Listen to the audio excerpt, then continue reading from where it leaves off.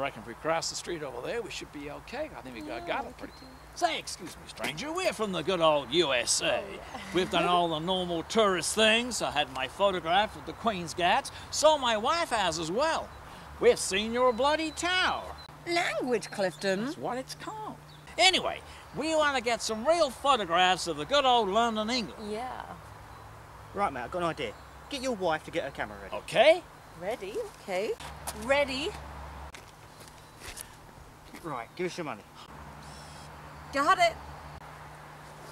That's what I call good old-fashioned England hospitality. Oh, what a great terrific. Isn't he terrific? Isn't he wonderful? Yeah.